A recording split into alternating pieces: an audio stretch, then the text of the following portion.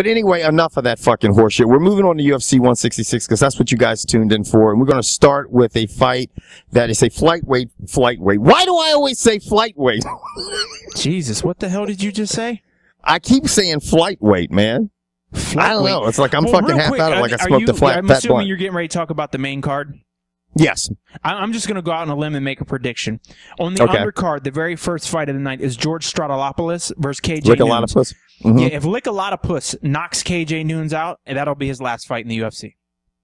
Uh, you know what? I am. I I would have said this exact same thing. KJ not, Noons I'm not is just kidding. not. KJ Noons is so underperforming. He's still Yeah. riding that one fantastic fight he had in Strikeforce, and he has done a lot of nada since. Yeah, I mean that he had against Nick Diaz back like back when I had a Jesus Christ starter jacket. Now here's the other one. And Nate Marquardt is going up against Hector Lombard. If Lombard It- doesn't win this fight, is the love affair with him over?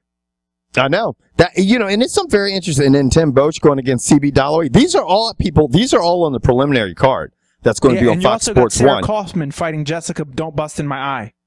Don't. Bu- the Dong That's probably her- would like that. That, that's the Um, nickname I'm giving her. Jessica. Don't That's good. bust.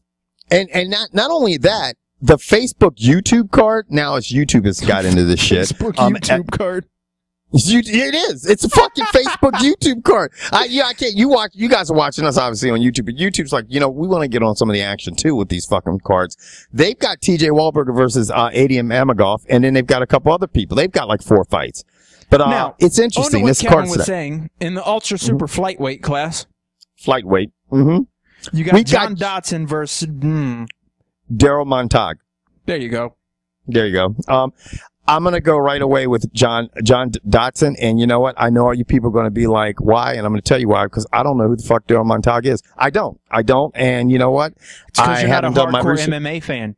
and they can get on the Gilly machine because I I'm gonna I I'm, I'm admitting that I'm telling you that. Or, let me ask you something, George. Are you a hardcore? Do you know who the fuck Darrell Montag is? And no offense to you, Darrell, because I- think 80% of our viewers don't know who you are. But you know what? If you knock John Dodson out or fucking win this fight, then everybody's going to know who you are. But right let, now, let me, let you me know who? break you. Let me break you down who Darrell Montag is. Darrell Tell me a little bit Montag- about Yeah, Darrell Montag has won four of his last five fights. He has Mm-hmm. won all over the world. He's fought in Tokyo. He's fought in California. He uh, won his Uh-huh. last submission by submission. He seems to be, as you would say, a well-rounded tactician. He's got five wins by knockout, five wins by submission, and three by decision. Thirteen and two. And you know what? Fuck you What? and your couch. I'm going with Darrell. if he wins, Darrell, if you're watching this video, you can do something. You got a chance. I'm telling you what, the guy you're going up against has more energy than a fucking supernova because that guy, John Dodson, goes for days. He's a spaz. Um, and, and, and like George says, I said, he is a well-rounded spaz. He's good. He can, he can wrestle you. He has an engine that's fucking doesn't stop and he's got good hands. So it's going to be a uphill battle, I feel, for this guy, Darrell. Um, Well, I'm Moving on with to- Mr. Montag for the win. but George is going to go with you.